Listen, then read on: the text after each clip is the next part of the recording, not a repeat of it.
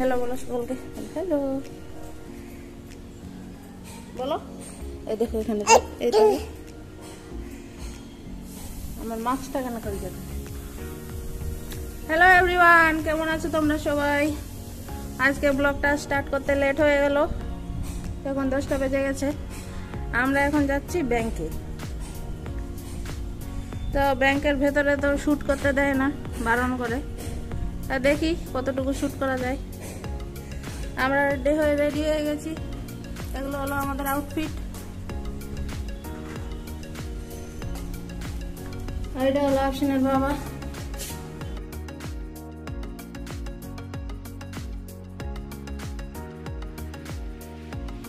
আফসিনকে আবার জুতো পরিয়ে নি। আমরা বেরোবো এমনি লেট হয়ে গেছে একটু। আর একটু তাড়াতাড়ি বেরোতে হতো। হ্যাঁ করেছি।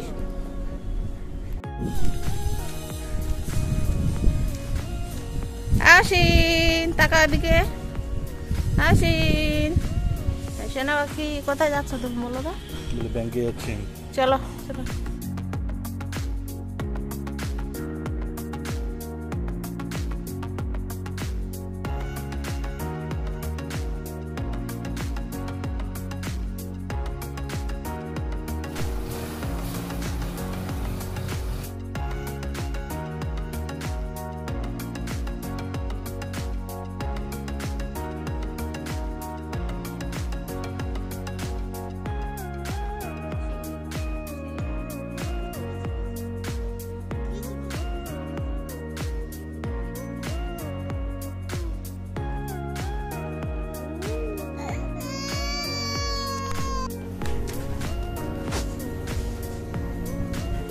আজকে রান্না হয়েছে মাছ, আলু আর কাঁচা কলা দিয়ে ঝোল করেছি। আফসিনে বাবা টিফিন প্যাক করে দিয়েছি তো এটা হলো, আর হলো, এটা হলো কুন্দ্রি ভাজা। এটা, এই ফলটা হচ্ছে মালদায় পাওয়া যায় না। ফল মানে সবজি। এটা কলকাতাতেই পাওয়া যায়। হ্যালো বন্ধুরা, কেমন আছো তোমরা সবাই? তো কালকে আমরা গেছিলাম ব্যাংকে, সেটা তোমাদেরকে দেখিয়েছি। তো কালকে আর বেশি ভিডিও করতে পারিনি। তার কারণটা হলো যে কালকে বৃষ্টিও হচ্ছিল আর আমরা মোটামুটি দশটার সময় গেছিলাম আর আসতে একদম দুটো বেজে গেছিল। তো আসার পরে খাওয়া দাওয়া করলাম। খাওয়া দাওয়া করে বাড়ির যা কাজ ছিল সেগুলো করতে সন্ধে হয়ে গেছিল। তো কালকে আর ইচ্ছে হয়নি ভিডিও করতে। আর লোনের ব্যাপারে এখন বারবার আমাদের ব্যাংকে একটু যেতে হচ্ছে। তোমাদের একটা আরেকটা ইনফরমেশন দিয়ে রাখি, সেটা হলো আমরা হয়তো এই মাসেই হয়তো আমরা শিফট হয়ে যাব আমাদের নতুন ফ্ল্যাটে তো দেখা যাক কি হয়, সেগুলো যদি শিফট হয় তো অবশ্যই তোমাদেরকে দেখাবো। তো আজকে এখন ওই দশটা মতো বাজে রান্না বান্না হয়ে গেছে, খাওয়া দাওয়া হয়ে গেছে আফসিনের বাবা বেরিয়ে গেছে।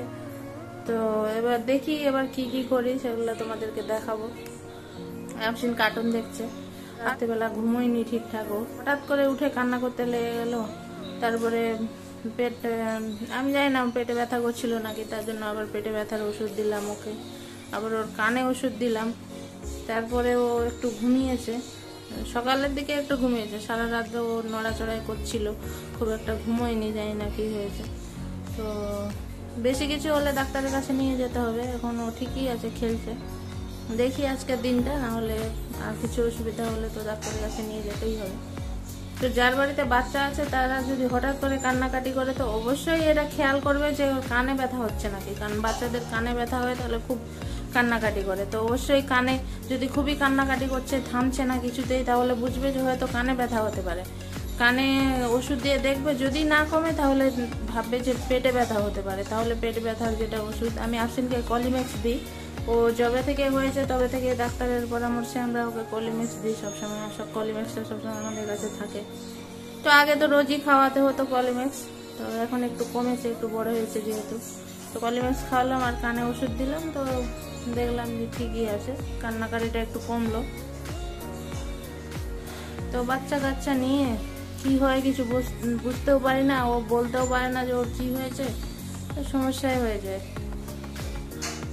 তো যাই হোক, এইভাবে জীবন চলতে চলতে থাকবে। আর ধীরে ধীরে বড় হয়ে যাবে। বলতে শিখলে আর এইসব সমস্যা আর থাকবে না। বাচ্চা মানুষ করা খুবই কষ্ট খুবই কষ্ট। তো যতদিন না বলতে পারছে, ততদিন তো কষ্ট হবেই। আর বাচ্চাদের দেখেছি, বেশিরভাগ রাত্রিবেলাতেই প্রবলেম হয়। দিনের বেলা ঠিকঠাক থাকে। আফসিনের বাবার কাণ্ড দেখো। কালকে এই জামাটা আমি পরে গেছিলাম, তো একটু ভিজে গেছিল, তো এখানে মেলে দিয়েছিলাম ঘরে। আজকে সকালে স্নান করেও গামছাটা আমার শুকনো জামাটার উপর দিয়ে পুরো ভিজিয়ে ফেলেছে। ভেজা গামছা পুরো রেখে চলে গেছে, ভাবো।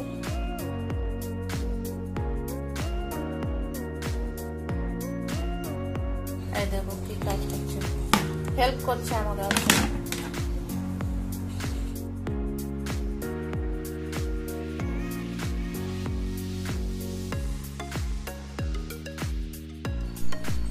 গুছানো হলো।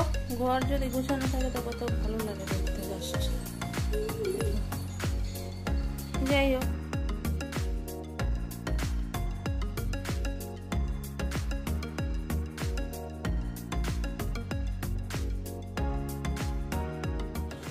এই ঘরটাতে খুবই গরম।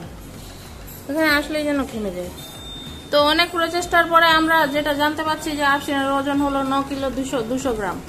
তো অনেক কষ্ট করে ওজনটা নিতে হলো, যাই হোক। একটু ন কিলো পাঁচশো গ্রাম কিছুদিন আগে দেখেছিলাম, তো জ্বর হয়ে আবার ওজনটা কমে গেছে। কি আর করা যাবে, বাচ্চা কাচ্চাটা নিয়ে? ওর ইচ্ছে হলে খায়, না ইচ্ছে হলে খায় না, ওর ইচ্ছে মতো চলে, ও কার কথা শোনে না। আশ্বিনের ওয়েটটা ঠিক আছে কিনা, এটা আমি জানব কীভাবে। মানে অনেক মায়েদের কনফিউশন থাকে, আমার বাচ্চা তো আন্ডার ওয়েট তো নেই, বা আমার বাচ্চার ওয়েট তো ঠিক আছে হাইটটা তো ঠিক আছে ওর এই বয়সে ওর কি কি ডেভেলপমেন্ট হওয়া উচিত? বা এই বয়সে ও কি কি করতে পার মানে কি কি করতে পারা উচিত একটা বাচ্চার? মানে সে করতে পারছে কি না বা ওর ডেভেলপমেন্টটা ঠিকঠাক হচ্ছে কি না এগুলো আমি জানব কীভাবে? তো এটা অনেক মায়েদের কনফিউশন থাকে। আমি অনেক সোশ্যাল মিডিয়ায় অনেক গ্রুপে টুপে দেখি যে মায়েরা সবসময় কোয়েশ্চেন করতে থাকে। এইসব কনফিউশনের জন্য আমি একটা অ্যাপ ইউজ করি। সেই অ্যাপটার নাম হচ্ছে মাইলো আমি তোমাদেরকে দেখিয়ে দেবো সেই অ্যাপটা তো ওই অ্যাপটা তোমরা অবশ্যই ডাউনলোড করে নিও। যাদের বাড়িতে ছোট বাচ্চা আছে বা যারা প্রেগনেন্ট আছো, তারা অবশ্যই ওই অ্যাপটা ডাউনলোড করে নিও। কারণ আমি যখন প্রেগনেন্ট ছিলাম, তখন তখন থেকে আমি ওই অ্যাপটা ইউজ করি।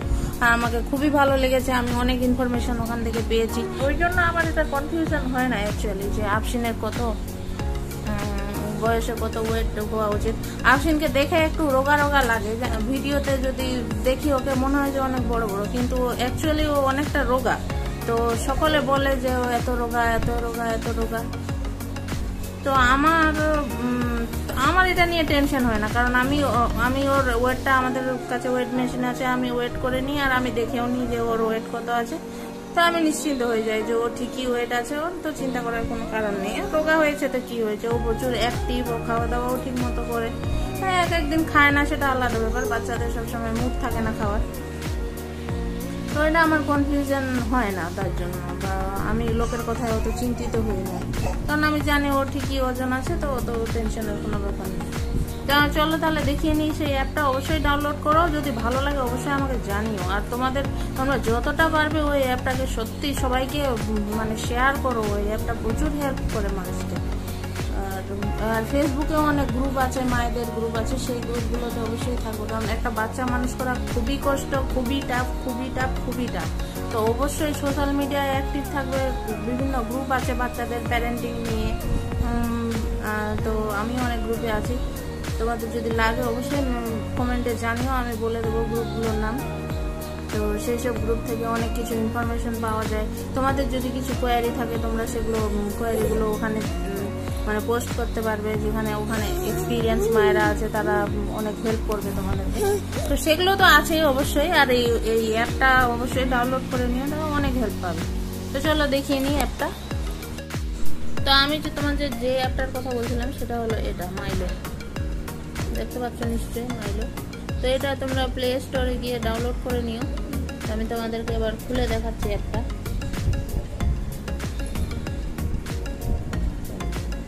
তো এই যে হলো অ্যাপ তো এখানে আমি অপশনের এজ টেজ সব কিছু দেওয়া আছে, ওখানে দেখাচ্ছে যে option one year two months old আর এখানে দেওয়া আছে, দেখো, যে আইডিয়াল হাইট কত। আইডিয়াল হাইটটাও লেখা আছে আইডিয়াল ওয়েটটাও লেখা আছে। আইডিয়াল ওয়েট লেখা আছে সেভেন পয়েন্ট ফাইভ থেকে ইলেভেন পয়েন্ট নাইন কেজির মধ্যে থাকতে হবে। তা অপশনের ওজন হলো নাইন পয়েন্ট টু কেজিস তো এটার মাঝখানে মধ্যেই আছে, তো ঠিকই আছে ওজন। তো সেটা নিয়ে অত চিন্তা করার কোনো কারণ নেই। এখানে রোজ আসে ডেইলি টিপ সেই ডেইলি টিপটা তোমরা পড়বে, ওখানে অনেক ইনফরমেশন থাকে। নিচে থাকে অনেক কিছু, এগুলো নিচে থেকে তোমরা দেখতে পারো। এই যে এখানে যেমন আছে five amazing home home remedies for cough and cold in toddlers তো এখান থেকে তোমরা এটা পড়লে বুঝে যাবে যে কি কি করতে হবে, না করতে হবে। যদি ঠান্ডা লেগে যায় বাচ্চাদের সেগুলো। এখানে অনেক কোয়েরিজ আছে যেগুলো মায়েরা কোয়েরিসগুলো পোস্ট করেছে সেগুলোর উত্তরও দেওয়া আছে, সেগুলো তোমরা পড়ো করে নিও। তো বাস এই লিঙ্ক লাগলে আমাকে কমেন্ট করে জানিও, আমি লিঙ্কও দিয়ে দেবো। আমাদের অনেক কোয়ারিজ থাকে ডিউরিং প্রেগনেন্সি যে আমার বাচ্চা এক মাসে কতটা বড় হলো, তার কি কি ডেভেলপমেন্ট হলো, দু মাসে কতটা বড় হলো, তার কি কি ডেভেলপমেন্ট হলো, আমার কি খাওয়া উচিত, কার কি খাওয়া উচিত নয়, সেগুলো সব তোমরা ইনফরমেশন পেয়ে যাবে মাইলো থেকে। তাকে মানে পুরোপুরি ভালোভাবে দেখবে কোথায় কি আছে, তাহলে খুঁজে খুঁজে সব পেয়ে যাবে তোমরা।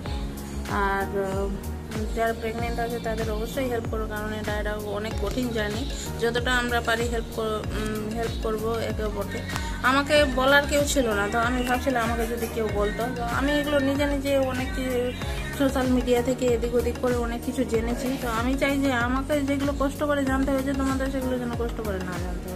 আমি যে, আমি একা মানুষ করেছি তো আমি জানি যে বাচ্চাটাকে মানে আমার জার্নিতে আমি যতটা শিখেছি সেগুলো আমি অবশ্যই তোমাদের সাথে শেয়ার করব। তাহলে তোমাদেরও জার্নিটা যেন স্মুথলি যায়, যেটা আমার জার্নিটা অনেক কঠিন ছিল। তো তোমাদের জার্নিটা আমি চাই যে একটু স্মুথ হোক, তার জন্য আমি তোমাদেরকে ইনফরমেশনগুলো দিচ্ছি।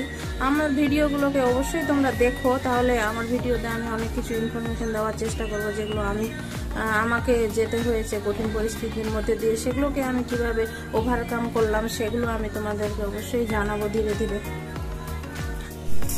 তো তোমাদের একটা জিনিস দেখাচ্ছি, আমি আসলাম ছাদে।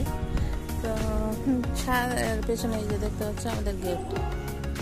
তো ওখানে আপশন দাঁড়িয়ে আছে, তো আমি যদি ছাদে আসি ও গেটটা ধরে দাঁড়িয়ে থাকে। আমি যখন যাই, তো আমি গেটটা ও যেহেতু দাঁড়িয়ে থাকে, এবার কোলাপসেবল গেটটা যখন আমি টানি, ওর হাত চেপে যেতে পারে।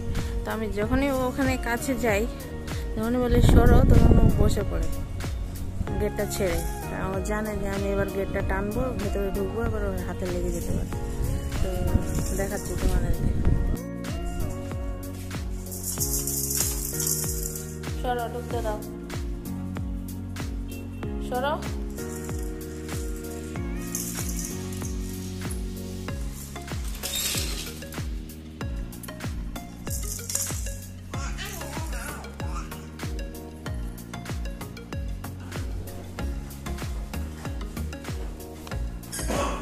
তো আমি এখন বানাবো হচ্ছে চিকেন ফ্রাই মানে কেএফসি স্টাইলের চিকেন ফ্রাই বানাবো।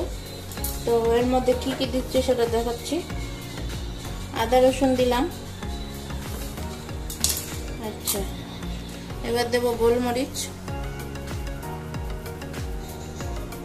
একটু বেশি করে দিচ্ছি, একটু ঝাল ঝাল হলে ভালো লাগে।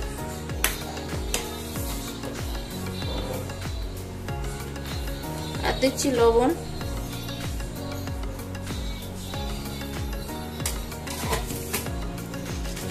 এবার দিচ্ছি হচ্ছে সয়া সস।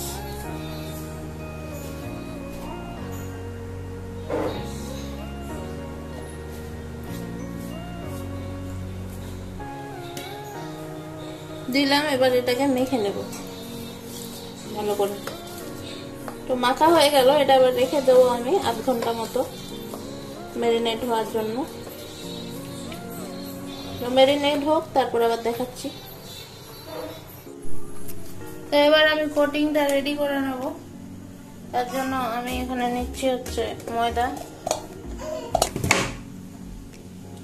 আর নেব হচ্ছে কর্নফ্লাওয়ার ময়দা যতটা দিলাম তার দশ ভাগের এক ভাগ হচ্ছে কর্নফ্লাওয়ার তো বেশি লাগবে না, সামান্য একটু দিলেই হবে। এবার আমি দেব হচ্ছে লবণ।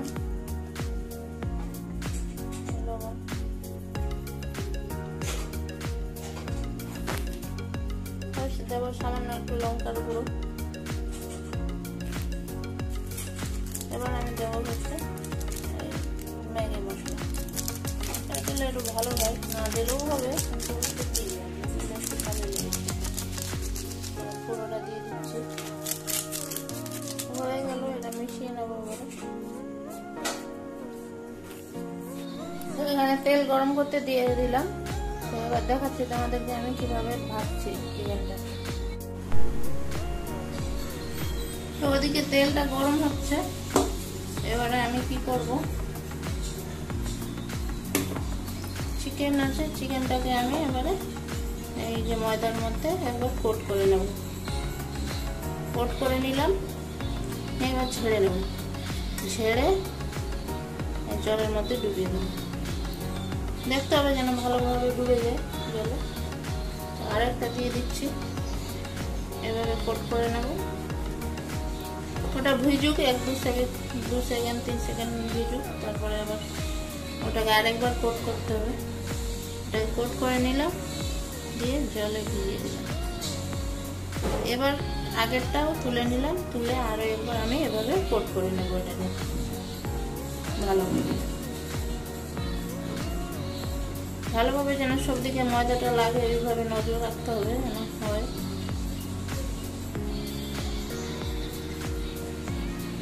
লাগিয়ে নিলাম। এবার এইভাবে এটাকে ঝেড়ে নেব। যদি কোথাও না ময়দা লেগে থাকে, সেটাতে আর একটু ময়দা দিয়ে এভাবে ঝেড়ে নিতে হবে। ছেড়ে এবার এটাকে ভাজবো। এখানে তেলের মধ্যে ছেড়ে দিলাম। তো এইভাবে করে আমি সবগুলো ভেজে নেব। পিঠটা ভাজা হয়ে গেছে, তো এবার আরেকটি আরেক দিকে উল্টে দিয়েছি তো এইভাবে মিডিয়াম আছে এপিট ওপিট ভালো করে ভেজে নিতে হবে, লাল লাল করে। তো এটা আমার মোটামুটি হয়ে এসছে, দেখতে পাচ্ছ? তো এরকম কালার যখন আসবে তখন তুলে নিতে হবে। তো এখানে আমার ভাজা ভাজাগুলো রেডি হয়ে গেল যে ভেজে নিয়েছি। তো এবার আফসিনের বাবা এবারে আমাদের রিভিউ দেবে এগুলো খেয়ে কেমন হয়েছে। কারণ বাড়িতে তো কেউ নেই আফসিনের বাবা ছাড়া। আফসিনের বাবা আমাদেরকে রিভিউ দেবে আমার কেমন হয়েছে, এটা। ঠিক আছে? এখানে হচ্ছি খাওয়া পার্টি। আমি বলব আমি হচ্ছি খাওয়া পার্টি। আচ্ছা। প্রতিটা জিনিসে খেয়ে আমাকে রিভিউ দিতে হবে। হ্যাঁ তো ভাই ইয়ে নাও খাচ্ছি।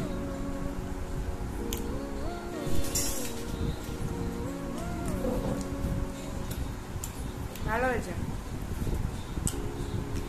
তোমরা বাড়িতে বানাও বাড়িতে খাও আমাদের দিকে নজর দিও না বেশি। হ্যাঁ কি বলব খেয়ে নি তবে তো বলব। খেতেই দিচ্ছ না। ঠিক আছে, আমরা খেয়ে নিই আবার পরে দেখাচ্ছি। আমরা খাচ্ছি আর আমার মাটা খাবে না, এটা কি করে হতে পারে? আমার সোনার তেলে ভাজা খুব প্রিয়। না, মা? দেখিয়ে দাও না মা, ভালো হয়েছে কিনা বলে দাও। সোনু? আম্মা, ভালো হয়েছে কিনা বলে দাও, মা। তো খাওয়া হয়ে গেলে আবার ঘুরে আসবে। তেলে ভাজা খুব প্রিয়, এই ব্যক্তিটার মতো। ভাবছিনেরও তেলে ভাজা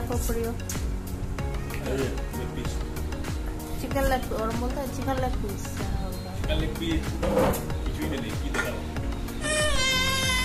আবার এসে আপসিন খাওয়ার জন্য।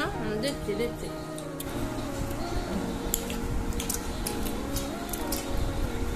চিন্তা নাই ওকে মাংসটাই দিচ্ছি। তেলে ভাজাটা ওকে দেওয়া যাবে না। মাংসটাই ভেঙে ভেঙে ওকে দিচ্ছি। আবার আসবে ও খাওয়া। এইসব তেলে ভাজা ওর খুব প্রিয়, কিন্তু খাবার দাবার দিলে ও খেতে চায় না।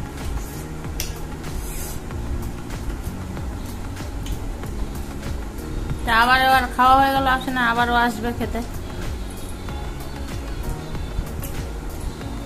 আবার চলে যাবে, আবার একটু পরে আবার আসবে ও খেতে। ওই জন্য মাংসটা রেখেছি, এখানে মাংসটা দিচ্ছি ওকে।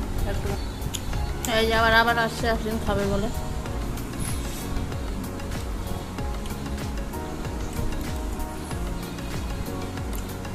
ওর যদি কোনো খাবার ভালো লাগে, তো খাবে, আবার ঘুরে ফিরে আবার আসবে খেতে। কিন্তু যদি ওর ভালো ভালো না লাগে, তাহলে ওর পেছনে পেছনে ঘুরতে হবে খাওয়ানোর জন্য। এটা হলো ঘটনা। তো এখন সাড়ে আটটার মতো বাজে। তো, ভাজা হলো, খাওয়া হলো, সব কিছু হলো। রান্না করতে আমার বেশ ভালোই লাগে, খারাপ লাগে না। রান্না করতে হেভি লাগে আমার। তো আফসিনের জন্য সময় হয়ে ওঠে না। তবু চেষ্টা করি একটু সময় টময় করে করার। বাইরে আমরা খুব একটা খাই না, যা খাই সব আমরা বাড়িতে বানিয়ে খাই। আফসিনের বাবার আমার হাতে খেতেই ভালো লাগে, ওকে বাইরে কোনো জিনিস খেতে ভালো লাগে না। তো ভালোই লাগে রান্না বান্না করতেও ভালো লাগে, খেতে তো ভালো লাগে, অবশ্যই ভালো লাগে। আর সব থেকে বাজে লাগে কি জানো? চলো দেখাচ্ছি। সব থেকে বাজে লাগে হলো এটা, বাসন মাজা। তখন কি খেলাম, না খেলাম, এখন আবার বাসনগুলো মাজতে হবে। যা খেলাম, সব এই বাসন মাজতে এবার হজম হয়ে যাবে। আচ্ছা তো আজকের ব্লগটা আমি এখানে এন্ড করছি। খাওয়া দাওয়া হলো, এবার বাসন টাসন মেজে নিই, আর কাজ যা আছে করে নিই। আবার ডিনার করব আসেনকে ঘুম পাড়াবো, এরপরে আবার ব্যস্ত হয়ে যাব আরও তো চুলটাও আচড়ানোর আর সময় পাইনি আমি। তো ঠিক আছে, ব্লগগুলো কেমন লাগছে অবশ্যই জানিও তোমরা। কমেন্ট করে জানিও অবশ্যই। তো ঠিক আছে, তাহলে আবার নেক্সট ভিডিওতে দেখা হচ্ছে। ততক্ষণের জন্য ভালো থেকো সবাই। বাই